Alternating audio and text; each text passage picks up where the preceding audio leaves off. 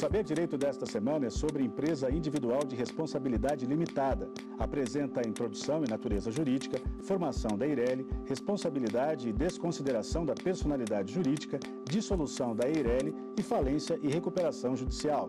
A professora é a mestra em Direito Juliana Palu. Olá, seja bem-vindo novamente ao programa Saber Direito Aula. Nessa semana estamos estudando a EIRELI o meu nome, como você já sabe, é Juliana Ortiz Minichiello Palu e eu sou professora de Direito Empresarial. Durante toda a semana, nós estudamos todas as particularidades da IRELI, desde a sua constituição até a sua dissolução. Na aula passada, nós estudamos sobre a dissolução da IRELI nós vimos quais são as hipóteses de dissolução, qual é o procedimento pertinente para a dissolução e lembro você que a dissolução é o método encontrado pelo titular da EIRELI que tenha como consequência o encerramento da atividade desenvolvida pela empresa individual de responsabilidade limitada. Vimos também quem é o liquidante, quais são as fases do procedimento de dissolução, até que, enfim, nós conseguimos o encerramento total da atividade da EIRELI. Quando não é possível o pagamento de todos os credores, nós vimos no finalzinho da nossa última aula a possibilidade da conversão do pedido de dissolução, do procedimento de, de dissolução no procedimento falimentar. Hipótese essa de autofalência. E por falar em falência, esse é o tema desta nossa aula, desta nossa última aula. Encerro o estudo da Eireli trazendo para vocês a aplicação do procedimento falimentar e do procedimento recuperacional para a Eireli. Olha só, então, a partir de agora, nós vamos estudar com maiores detalhes como é que se dá o procedimento falimentar e o procedimento recuperacional da Eireli. Eireli, de fato, pode requerer falência? Eireli pode ter a sua falência decretada? Pode sim. Olha só, a lei de falência ela nos diz que a falência é ela vai ser aplicada para aquela pessoa que é empresário. E nós já vimos que a Eireli, ela assume o papel do desempenho, do desenvolvimento de atividade típica de empresário. Então, se a Eireli pode instituir a atividade de empresário, ela também pode sofrer a incidência da Lei 11.101 de 2005, lei esta que trata justamente do procedimento recuperacional e do procedimento falimentar. Vamos então às hipóteses de falência. Como que a falência ela é aplicada para a EIRELI? Muito bem. O artigo 980-A do Código Civil, lá no seu parágrafo 6, ele nos diz que todas as regras que são cabíveis para a sociedade limitada são pertinentes também para a Eireli. Com isso, nós temos que a Eireli, ela pode ser revestida de atividade típica de empresário quando o seu titular exerce a atividade discriminada lá no 966 do Código Civil. Então, se as regras da limitada são pertinentes para a Eireli e Eireli também é revestida da atividade empresarial, que também é atividade da sociedade empresária de responsabilidade limitada, nós temos então a possibilidade da aplicação do procedimento falimentar para a empresa individual de responsabilidade limitada. Pessoal, Com a falência, a Eireli vai ser extinta. Mas se a Eireli será extinta com a falência, por que, que ela não foi extinta com o procedimento de dissolução? Não era muito mais fácil? O procedimento de dissolução não é muito mais simplificado do que o procedimento falimentar? Olha só, pessoal. Dissolver a Eireli é trazer a ela o desejo do encerramento da atividade pelo pagamento dos credores. O que eu tenho? Eu tenho a soma do patrimônio devedor, tenho a soma do patrimônio que é credor, tenho o pagamento de todos os credores. E caso eu não tenha mais a possibilidade da busca da satisfação do crédito lá no patrimônio da Eireli, eu tenho pela dissolução a autorização para busca do patrimônio, da a busca da solvência lá no patrimônio do titular da Eireli. Já na falência, eu tenho um procedimento completamente diferente. Aí, a falência, apesar de ela trazer também uma hipótese de encerramento da atividade da Eireli, eu tenho aí que o titular da Eireli está impedido de continuar com o exercício da atividade empresarial. E este impedimento não é porque ele manifesta a vontade de encerramento da atividade. Este impedimento é justamente porque ele não tem mais solvência. Ele não consegue mais, no decorrer do exercício da atividade da Eireli, saldar todos os seus compromissos. Então, pessoal, a falência, diferente da, diferentemente da dissolução, ela traz a possibilidade, sim, do encerramento da atividade empresarial, mas pelo impedimento da sua continuidade. E aí nós temos as particularidades do procedimento falimentar. Olha só, e agora nós temos a nossa primeira pergunta com relação ao procedimento falimentar da Eireli.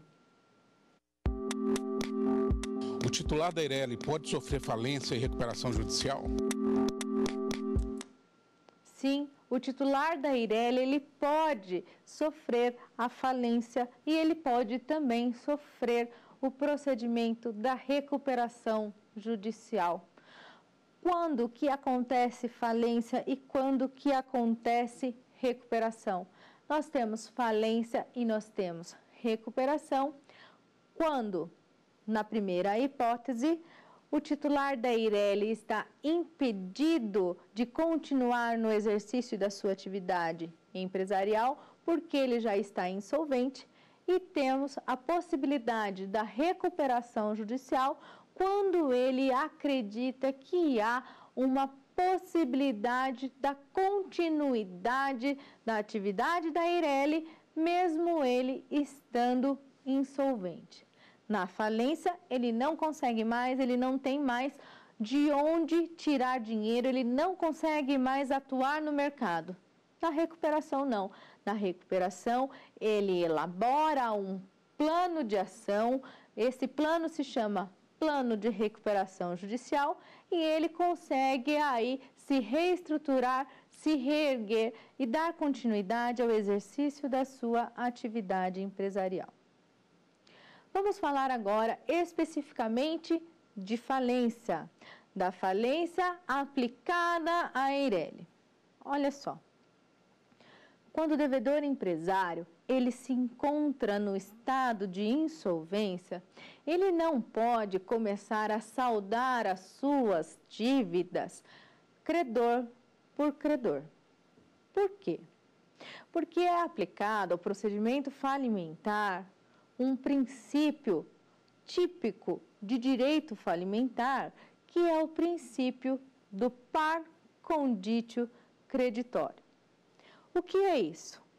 Pelo princípio do par conditio creditório, nós temos que todos os credores do devedor empresarial devem receber tratamento igualitário. eles devem receber a solvência do seu crédito de forma igual.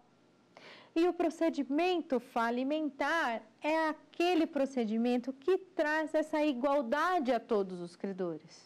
É através da falência que eu tenho a possibilidade de que um credor que seja parte de uma categoria determinada de crédito receber ou concorrer de forma igual pelo recebimento do seu crédito juntamente com outro credor que tem uma outra, tem uma outra natureza de crédito. Então, pessoal, a falência é o procedimento da execução concursal dos créditos do devedor empresário. Significa que, diferentemente do que eu tenho lá na insolvência civil, eu não posso executar aquele que está sendo alvo do procedimento falimentar sozinho. Eu não posso, eu como credor, ingressar com um processo autônomo, outro credor também não pode ingressar com processo autônomo. Eu tenho aí então a necessidade da incorrência de um procedimento falimentar. Só que olha só, como é que se instaura um procedimento falimentar? Como é que, o EIRE, que a EIRELI tem contra si instaurado um procedimento falimentar? Olha só, em primeiro lugar, nós temos que saber quais são os sujeitos que podem ser sujeitos da relação jurídica falimentar. Quem são eles? São eles o próprio devedor empresário, o credor, o cônjuge sobrevivente, caso eu tenha a morte de um sócio, eu tenho também a presença do cotista ou do acionista. Então, esses sujeitos que eu acabei de falar para vocês são aqueles sujeitos da falência. Eles podem requerer a falência de um devedor empresário e ele pode requerer a sua própria falência. Como assim? Pode requerer a falência de um devedor empresário ou ele pode requerer a sua falência. Se nós estivermos diante da hipótese de uma autofalência, ou seja, o próprio devedor empresário ou o cônjuge sobrevivente ou o acionista ou o cotista requerer a falência daquela entidade que ele representa, estaremos diante da autofalência. Agora, quando o pedido do, da instauração do procedimento falimentar for requerido pelo credor, aí nós temos o procedimento falimentar e não a autofalência. Para que o procedimento falimentar seja instaurado, nós precisamos de três pressupostos. Nós precisamos do quê? Nós precisamos do devedor empresário, nós precisamos da insolvência e nós precisamos da sentença declaratória de falência. Sem a atuação conjunta desses três pressupostos, eu não tenho aí a instauração do procedimento falimentar. O procedimento falimentar, ele se dá início com o pedido da falência ou com o pedido da autofalência, caso seja a hipótese. Neste pedido, o devedor empresário deve demonstrar ou o credor deve demonstrar que existe a possibilidade da instauração do procedimento falimentar. Essas possibilidades estão lá descritas no artigo 94, incisos do, da Lei de Falência e Recuperação Judicial. Nós temos, então, como possibilidade da instauração do procedimento falimentar a incorrência da execução frustrada, da impontualidade injustificada e da incorrência dos atos de falência. Vamos estudar cada um desses pressupostos, cada um dessas particularidades trazidas pelo artigo 94 e que autorizam a possibilidade da instauração do procedimento falimentar. Eu tenho falência quando o devedor empresário ele incorre em impontualidade injustificada. O que, que é impontualidade injustificada? A impontualidade injustificada, ela é descrita pelo não pagamento de crédito sozinho de um único credor ou de crédito de vários credores que perfaçam o valor mínimo de 40 salários mínimos.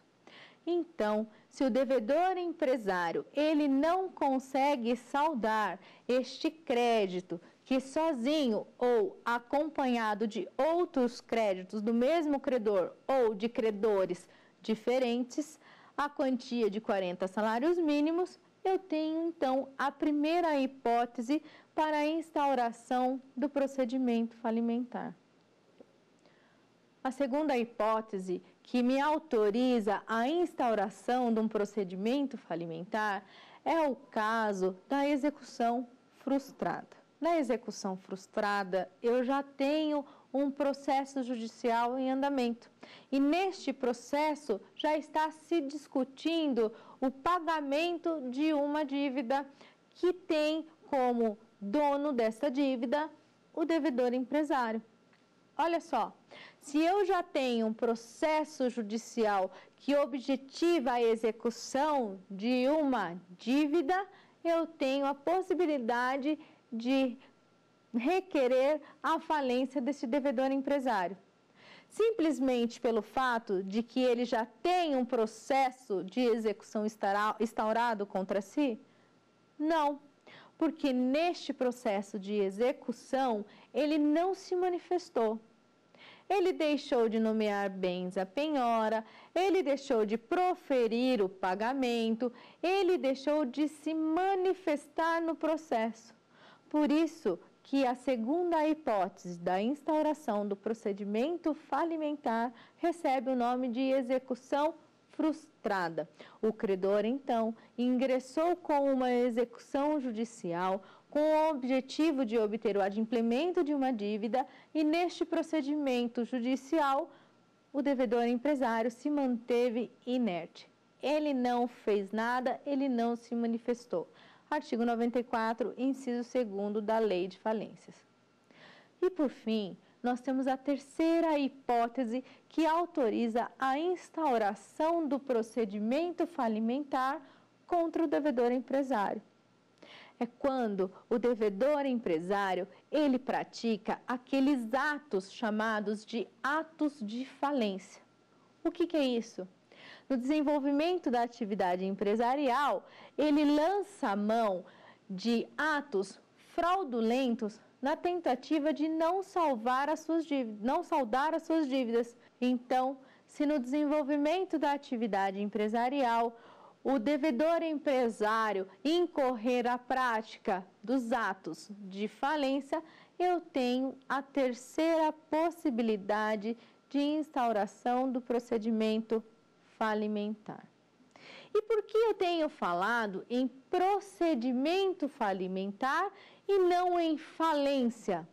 Porque a falência, ela não é decretada simplesmente com o pedido da instauração do procedimento, da instauração do processo judicial de falência. A falência, ela só é declarada, ela só é decretada a partir de uma decisão judicial.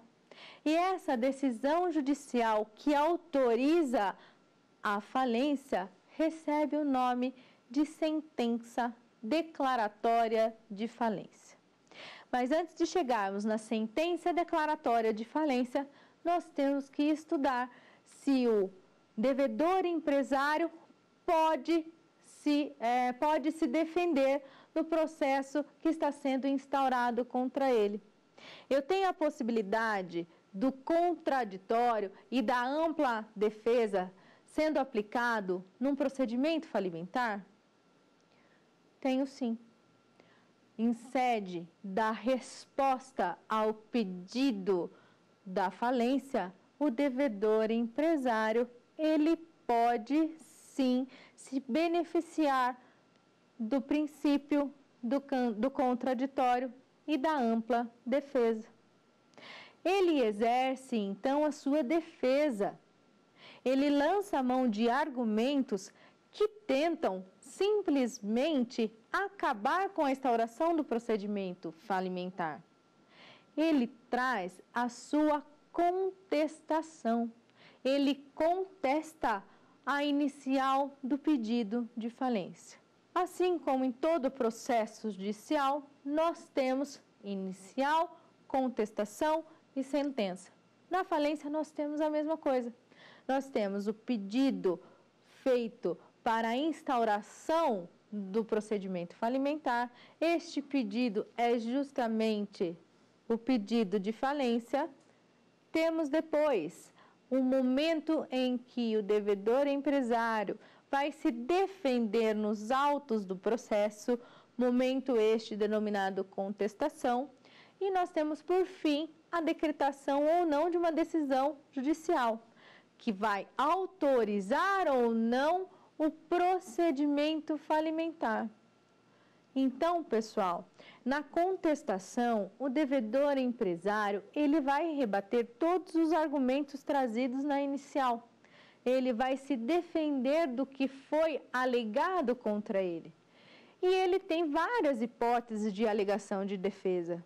Ele pode dizer que ele já pagou a dívida, ele pode dizer que a dívida não está constituída por um título competente, líquido e certo para que ela seja cobrada, enfim, ele tem várias hipóteses aí para se defender. E também é no prazo da contestação que o devedor empresário ele pode acabar com o procedimento falimentar. E como que ele acaba com o procedimento falimentar ali na contestação? quando ele lança a mão do depósito elisivo. O que é depósito elisivo? O devedor empresário, no prazo da contestação, ele deposita em juízo todo aquele valor que está sendo cobrado em sede de inicial, acrescido, logicamente, dos juros e das correções pertinentes. Então, o devedor empresário, na sede de contestação, ele tem a possibilidade de decretar o fim do procedimento falimentar que está sendo instaurado contra ele. Basta ele fazer o depósito elisivo. Olha só, essa é a única possibilidade que nós temos com relação ao encerramento do procedimento falimentar em sede de contestação? Não. É também neste momento que é ofertado ao devedor empresário a possibilidade da conversão da falência em recuperação judicial. Ele pode simplesmente não fazer o depósito elisivo, mas ele pode apresentar um plano de recuperação judicial. E se esse plano de recuperação judicial for acatado pelo juízo falimentar, eu não tenho mais procedimento falimentar. Eu tenho a partir de agora o que? A instauração de um procedimento recuperacional. Então, pessoal, é na contestação que o devedor empresário tem a possibilidade de se defender das alegações trazidas em sede da inicial do pedido de falência. É o momento também que ele tem a possibilidade tanto para elidir a falência quanto para pedir a sua conversão em procedimento de recuperação judicial. Olha, a falência hoje em dia ela tem sido utilizada como um meio de coação, como um meio de se forçar o devedor empresário ao pagamento de uma dívida que espontaneamente ele não pagou. Se eu ingresso com um processo judicial objetivando simplesmente a cobrança ou a execução de uma dívida, este processo não vai fazer muita diferença na vida do devedor empresário que tem como praxe se manter inadimplente. Só que se eu ingresso com um processo falimentar, se eu ingresso com um pedido de falência contra esse mesmo devedor empresário, aí sim eu tenho uma coação moral muito maior e eu consigo compelir o devedor empresário ao pagamento daquela dívida que está sendo cobrada na falência. Então, pessoal, as possibilidades trazidas para o encerramento do procedimento falimentar dentro do prazo de contestação, elas trazem para o devedor empresário a possibilidade de se eximir da falência justamente porque é uma ação judicial que tem uma força de coação, mora, coação moral muito maior do que qualquer outra ação judicial que tenha por objetivo o adimplemento de qualquer obrigação. Falei para vocês que é dentro da contestação que o devedor empresário tem a possibilidade de requerer o encerramento do procedimento falimentar ou porque ele paga ou porque ele pede a conversão do procedimento. Mas eu não falei para vocês o prazo. Qual é o prazo de contestação? O prazo de contestação do devedor empresário é o prazo de 10 dias. Então, ele tem 10 dias a partir do momento da citação no procedimento falimentar de oferecer a sua defesa. Olha, não é que na contestação ele vai ofertar apenas o depósito elisivo ou ele vai pedir apenas a conversão. O devedor empresário, ele tem a possibilidade de pedir em conjunto a conversão do procedimento com a oferta da contestação e ele tem a possibilidade de fazer o depósito elisivo em conjunto com a contestação. E se ele não quiser fazer nada disso, ele simplesmente pode ou só depositar, ou ele pode simplesmente contestar o pedido de falência. Olha só, ainda eu não tenho a falência decretada. O que eu ainda estou na fase processual pré-falimentar. A fase pré-falimentar, ela vai do início do pedido até a decretação da sentença declaratória de falência. Se a sentença denegar o pedido de falência, eu não tenho então a instauração da fase falimentar. Por quê? Porque o pedido de falência foi negado. Então, eu tenho, a princípio, duas fases do procedimento falimentar. A pré-falimentar, que vai até a sentença declaratória de falência, e tenho também a fase falimentar, que ela tem o início a partir da sentença declaratória de falência. E se eu não tenho sentença declaratória, eu só tenho fase pré-falimentar. Olha só, no momento em que eu ainda estou na fase pré-falimentar, eu tenho a ocorrência de um lapso temporal que é importantíssimo dentro do procedimento falimentar. Este lapso temporal, este espaço de tempo, recebe o nome de termo legal de falência. O termo legal de falência é o período de investigação dos atos do devedor empresário. É neste período que são, é que são investigados se o devedor empresário está se beneficiando de uma falência fraudulenta ou não. Eu investigo o devedor empresário para ver se ele desviou patrimônio para ver se ele cometeu atos abusivos, para verificar se ele incorreu nos atos de falência e, portanto, deve ser responsabilizado como uma pessoa que incorreu em crime falimentar. O termo legal de falência, ele perfaz o período de 90 dias. 90 dias contados da onde? 90 dias contados para trás do início do procedimento falimentar ou 90 dias contados para trás da conversão do pedido em falência ou 90 dias contados para trás do pedido de conversão de falência em recuperação judicial.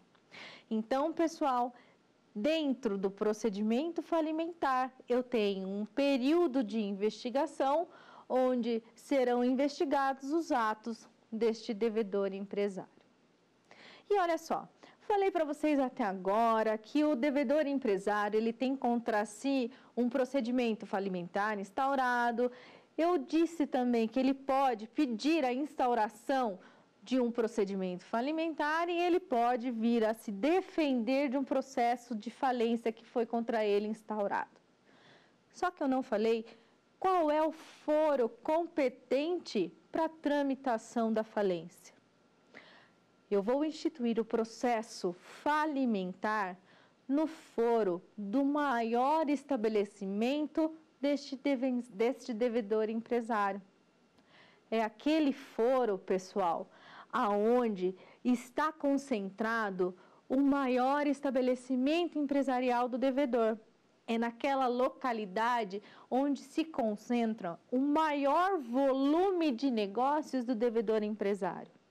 Então, é competente o foro para instauração do procedimento falimentar, aquele foro da comarca onde se concentra o maior volume de negócios do devedor empresário.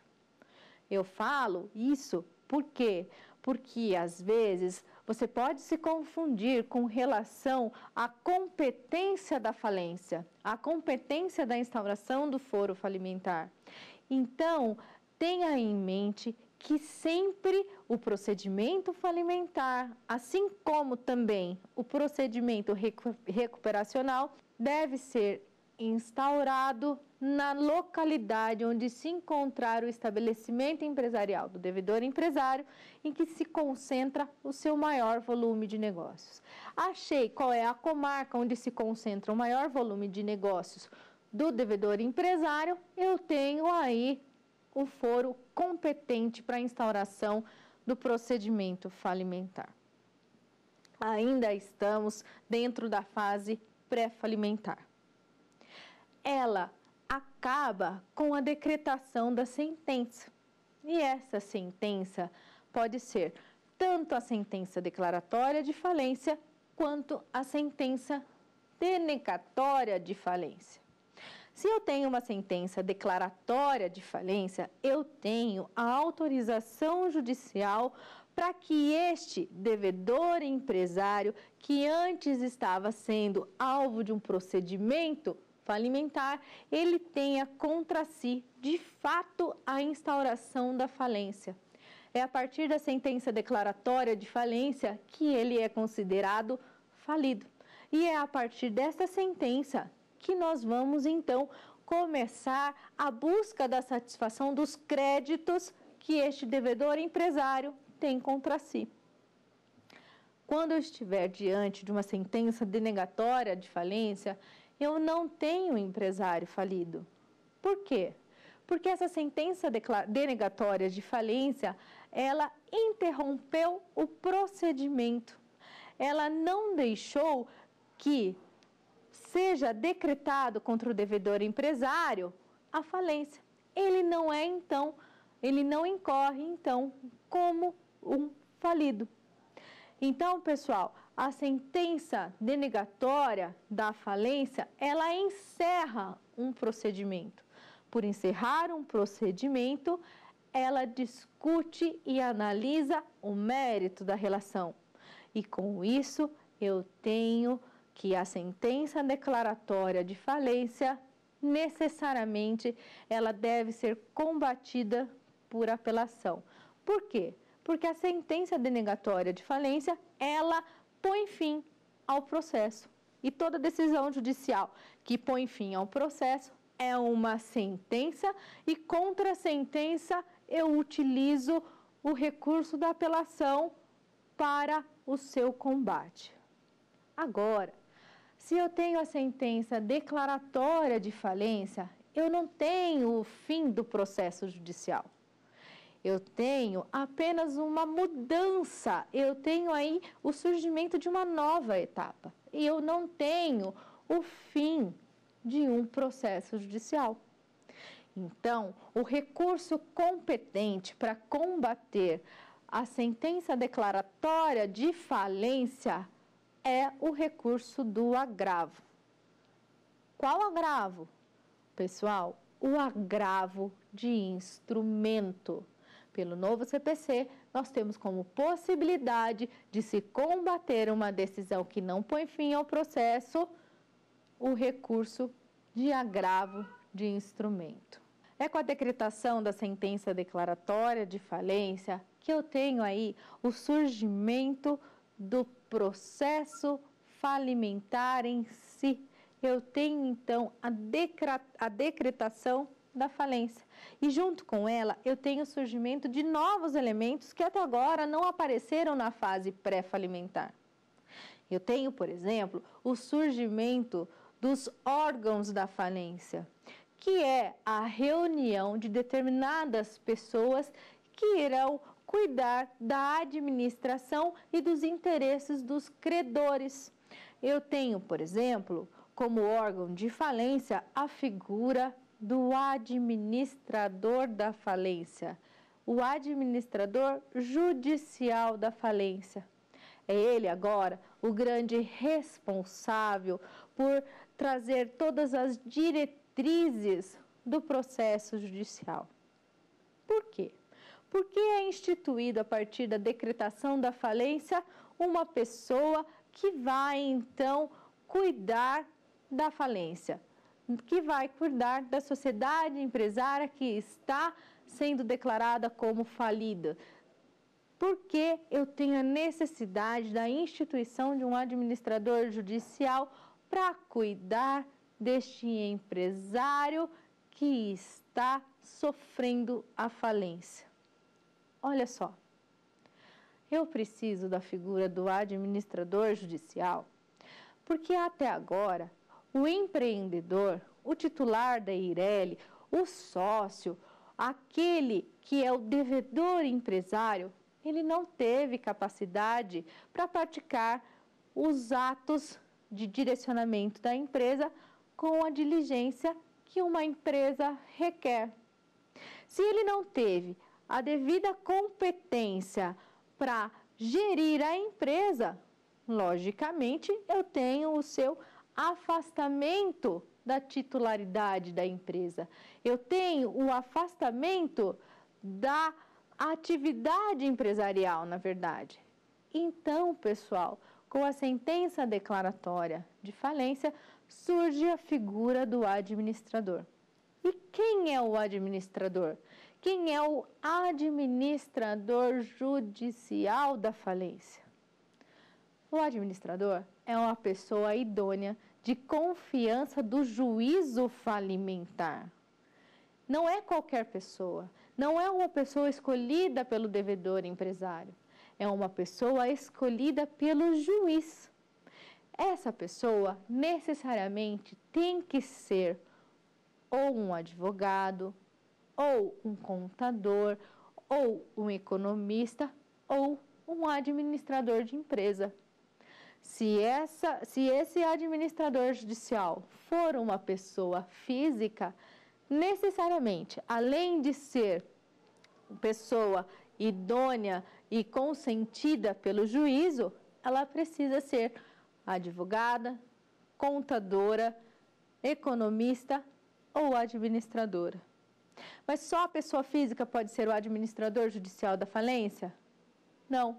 Eu tenho a possibilidade da nomeação de uma pessoa jurídica como administrador judicial da falência. Existem hoje, dentro do mercado empresarial, sociedades, pessoas jurídicas que atuam justamente como administradores judiciais. Então, o administrador judicial da falência pode ser tanto uma pessoa física quanto uma pessoa jurídica. Ainda, com a decretação da falência, eu tenho a instauração do juízo falimentar. O juízo falimentar, ele funciona como se ele fosse um imã e ele atrai para si todas as ações judiciais que estão sendo uh, tramitadas contra aquele devedor empresário. Logicamente que dependendo da ação judicial, essa ação irá migrar para o juízo falimentar apenas na sua fase de execução. É o caso, por exemplo, das ações decorrentes da Justiça do Trabalho. Então, com a decretação da falência, eu tenho juízo falimentar. Ainda com a decretação da falência, pessoal, eu tenho a motivação para o pagamento destes credores. Eu tenho com ela, com a decretação da falência, agora instaurado um procedimento que tem por objetivo a busca na satisfação do crédito que o devedor empresário deixou de adimplir. Eu tenho então a reunião de todos os credores, eu tenho então a reunião de todo o patrimônio do devedor empresário, para que ao final, após aí a junção deste patrimônio que vai responder pelas obrigações e destes créditos que objetivaram, que instauraram um pedido falimentar, eu vou ter então a liquidação e o competente pagamento dos créditos. Olha só, na falência, todo mundo recebe de forma igual? Não. Na verdade, eu tenho que obedecer o pagamento de acordo com a classificação dos credores, de modo que os primeiros que recebem pelos seus créditos são aqueles que compõem aos créditos extra-concursais. Exemplo de crédito extra-concursal é o crédito do administrador judicial. Se ele foi nomeado para cuidar do processo judicial da falência, nada mais justo que ele tenha ofertado para ele uma remuneração. E essa remuneração do administrador, ela faz parte dos créditos extra-concursais. Após o pagamento dos créditos extra-concursais, me desculpem, eu tenho o pagamento dos créditos concursais. E aí eu tenho que obedecer o rol do artigo 83 da Lei de Falência. No artigo 83 da Lei de Falência, eu tenho especificado quem é que recebe em primeiro lugar. Quem é o primeiro da lista a receber o crédito que não foi saldado pelo devedor empresário? Então, sempre os primeiros a receberem os créditos que estão ali descritos na, no procedimento falimentar sempre serão os trabalhadores que desenvolveram a sua atividade como colaboradores dessa sociedade empresária que está sofrendo a falência. Só que cada um tem o direito ao recebimento do valor de até 150 vezes o valor do salário mínimo vigente à época da decretação da falência. Então, primeiro, quem recebe é o trabalhador. Depois, nós temos que obedecer o rol do artigo 83. Após o pagamento dos trabalhadores, eu tenho o pagamento dos honorários. Depois dos pagamentos dos honorários, eu tenho aqueles créditos com natureza, crédito de natureza real, crédito com natureza quirografária, enfim, eu tenho que obedecer a sequência que me traz o artigo 83 da Lei de Falências. Muito bem.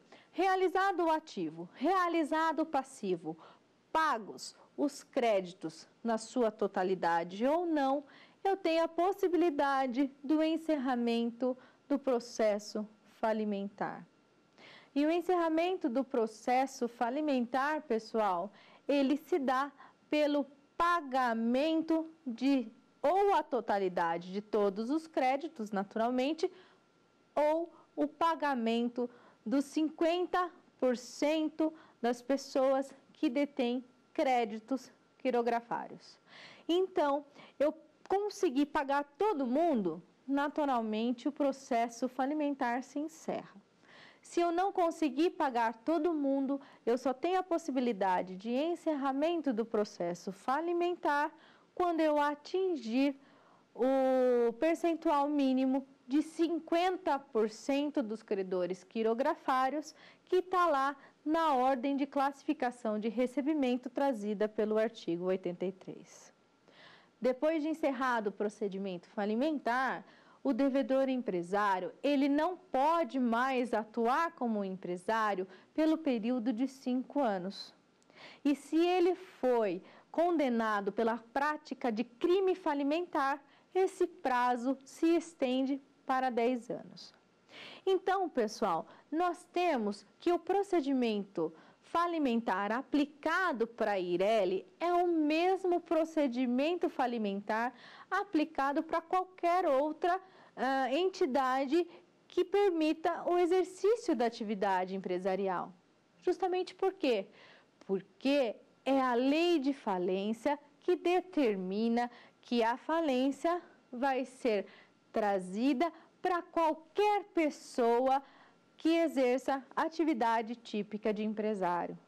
Se a Eireli atua como empresário, se, ele, se ela desenvolve a atividade empresarial, eu tenho então plenamente possível a instauração do procedimento falimentar. A lei de falência e recuperação judicial, ela não trouxe apenas o procedimento falimentar, ela trouxe também o procedimento recuperacional. Falei para vocês que o devedor empresário, ele pode pedir a conversão do procedimento falimentar em procedimento de recuperação judicial. Pelo procedimento de recuperação judicial, o, devedor empresário, ele vislumbra uma possibilidade de continuar no exercício da atividade empresarial. A recuperação judicial, ela não é pleiteada apenas lá na contestação. Isso significa que, mesmo sem termos um processo falimentar instaurado, o devedor empresário ele pode ir até o judiciário e requerer que seja decretado a ele a possibilidade do procedimento recuperacional. Ele vislumbra a possibilidade de continuidade da atividade empresarial e, por isso, ele pede que seja ele dado o benefício da recuperação judicial. Na recuperação judicial, que está lá disciplinada a partir do artigo 48 da Lei de Falências, nós temos que o devedor empresário deva apresentar ao juízo um plano. Que plano é esse? Ele traz o plano de recuperação judicial. Lá Neste documento, ele tem que evidenciar quais são as medidas cabíveis que a empresa vai tomar para que todos os créditos sejam saldados. E com isso, com a solvência do devedor empresário, ele seja possibilitado de continuar na atividade empresarial. Mas é qualquer empresário que pode requerer a recuperação judicial? Sim, assim como na falência, é qualquer empresário que pode requerer a recuperação judicial. Para isso, ele precisa estar no exercício da atividade empresarial pelo período mínimo de dois anos. Ele precisa que não tenha contra si decretada uma falência através de uma sentença transitada em julgada e ele precisa ainda fazer jus a dois requisitos de tempo. Ele precisa não ter pedido recuperação judicial nos últimos cinco anos e ele precisa não ter contra ele ofertado a concessão da recuperação judicial. O devedor empresário, então, ele pode sofrer a incidência da lei de falências. Se ele pode sofrer a incidência da lei de falências, a Eireli também pode sofrer a influência da legislação falimentar. Então, é plenamente possível que a Eireli requeira ou tenha contra si decretada a falência e plenamente possível que a Eireli tenha o requerimento de recuperação judicial. Bom, esses foram os apontamentos que eu trouxe para vocês com relação à falência e à recuperação judicial da Eireli. Muito obrigado por estarem comigo pacientemente nessa semana e eu espero vocês numa outra oportunidade. E caso tenham alguma dúvida, peço por favor que entrem em contato aqui com o Saber Direito. Obrigada! Ficou com dúvidas? Então mande um e-mail para saberdireito.stf.jus.br. E você também pode estudar pela internet. Basta acessar o site tvjustiça.jus.br.